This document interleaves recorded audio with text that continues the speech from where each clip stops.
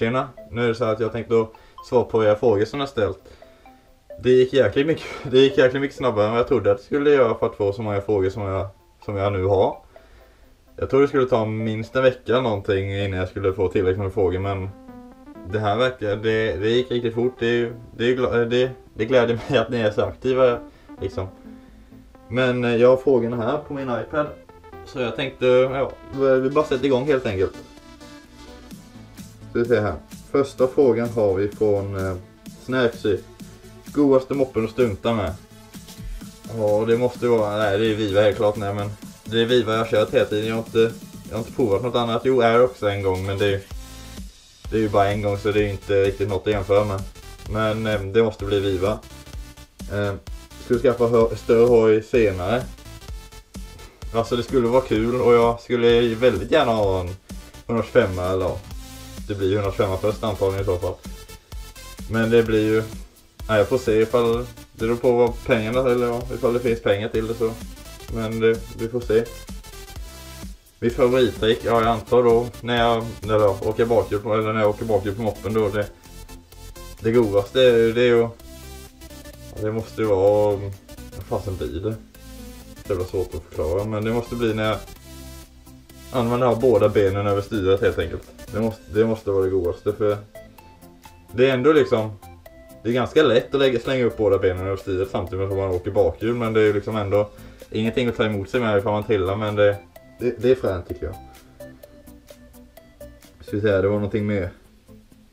Grattis till 200 subs, tack så mycket. Um, om ni inte har kollat Snacksys kanal så checka gärna han för han har, han har grymma ja, Ludix stundsvideos. Så checka dem. Ehm, Bamseman. Är det värt att köpa via City? Ja, alltså. Det enda är ju ifall du stuntar med den så är det ju kåporna som tar en jävla massa stryk. Men det är bara, borra hål och sätta bumpan liksom. Det skulle inte stå... Jonathan Pettersson. Har du några stunttips? Du är king. Tack så mycket. Ehm, Ja, sitt långt bak, ryck, tryck ner gaffeln, gasa och ryck ungefär när effektkurvan kommer. Det är ju så du får upp den. Sen är det bara träna på en jäkla massa olika kombos och tricks och stå på sadeln, olika sånt helt enkelt. NCT, fan vad god smålänning. Tack så mycket. Eh, Anton Pettersson, vad har du för hjälm? Detta är en O'Neill tror jag det är. Ja, det måste det vara. En V3 tror jag det är. Har för mig i alla fall. Det var för, jag köpte den förra året någon gång. Så det är ett tag sedan. Jag har haft den ett tag nu. Hur lär du dig stunta? Äh, ja, jag har cyklat en hel del innan. Eller ja, jag cyklar en del nu med. Inte just nu men förra året cyklade jag en hel del med. Så det var väl att gå över till moppe helt enkelt och åka bakhjul på den istället för på cykeln liksom. Um, vilket sätt är enklast att lära sig? Ja men det är ju träna träna och träna helt enkelt. Jag började med att sitta med båda knäna på sadeln och gasa och rycka samtidigt. Då är den väldigt lätt upp på bakhjulet så det... Då det bara att vara beredd på bromsen helt enkelt så att du inte drar över det första jag gör för det är inte så kul att köpa nya baklysen och grejer. Ja, ska vi se Hampus Karlsson. Setup. Den kan jag skriva i beskrivningen för det, det är några som har försvar, svar, svarat, frågat det. Så det står i beskrivningen så där kan du kolla det. Kolle 778. Har du några, några stylingtips, stylingtips till Viva? Alltså, jag bryr mig inte jättemycket om hur det, hur det ser ut men på med ett annat styre som typ Biltema MX hög till exempel. Det, det, höj, det, det gör det mycket snyggare än om du har kvar hastighetsmätare. Det, det, det, tycker jag i alla fall. Så tänk på ett sånt styre istället för originalstyre ifall du inte har det. Det är lätt att bli tagen av snuten med trimmer. Det är väl lika lätt som om du skulle bli tagen med 70 antar jag. Eller 70 kubik då. Så det vet jag faktiskt inte. Jag har aldrig blivit tagen och jag kör ju en hel 70 kubik setup liksom.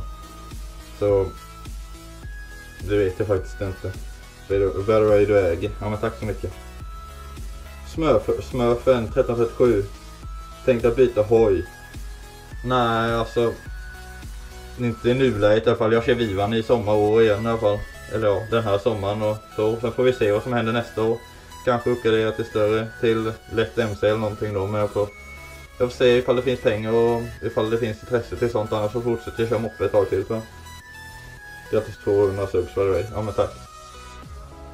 Um, Johannes Henningsson. Favoritdricka PS du äger. Alltså om det inte ska vara Monster som jag har här. Jag vet inte om ni ser så bra nu för det är ju sån jävla utfilmat på GoPro. Men det är Monster bland annat. Det är ju jävligt gott liksom. Men om det inte ska vara det så är det nog fan jordgubbssaft. Det är riktigt gött alltså. Det du äger, men tack.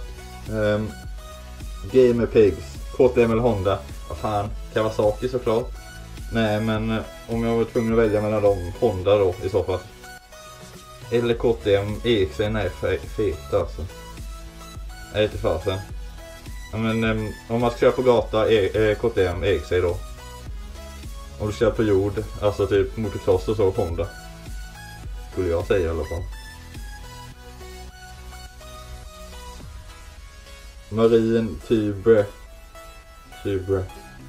Jag vet inte fan hur jag ska uttala ditt namn men det... Förlåt för att jag säger fel. Är det bra att ha 12 på moppen? Alltså... Det beror ju på. Ifall du inte är så säker på bakbromsen så är du rädd att förstöra moppen liksom. Då släng på 12 så är ju bakpartiet liksom. Det är ju ingenting. Då går inte det sönder ifall du drar över liksom. Jag har mest 12 för att ha någonting att stå på där bak för jag tycker det är gött att ja, stå på 12 stå på salen och ja 12 är ju där alltid ifall. Det är liksom ett ganska bra skydd ifall man drar över. Ifall det någonsin skulle hända men det har aldrig hänt mig än så länge så det, det är lugnt så. Nu Stitch stick. Hur länge har du stuntat och när, och när och om du skaffar MC ska du stunta då också eller kommer du fortsätta med moppe? Alltså om jag skaffar, skulle skaffa en 125 typ EX eller någonting, då är det klart bakhjul på den. Det är ju det är inget snack om saken. Men som det ser ut nu kommer jag fortsätta på moppen ett tag till. Eh, young Freerun. Har du körkort? Ja, jag har körkort till klass 2 moped, alltså 30 moppe då. Som på cykelväg och sånt. Så inga skylt på den, eller ja, jag behöver inte ha någon skylt någonsin köra utan. Ja det var den gång jag körde på gräset dagen innan jag fick körkort typ. Körde omkring på gräsmattan på baksidan. Det är det enda jag kört utan i så fall. Ellen, några planer för sommaren? Du är grym. Ja men tack. Tack tack. eh, planer för sommaren? Jag kör en jävla massa med dig antagligen. Det får vi väl det får vi skriva ner.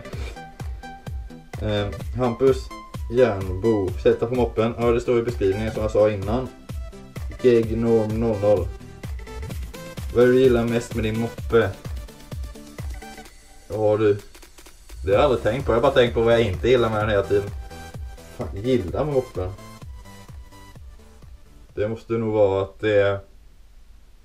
Vad fan kan det vara?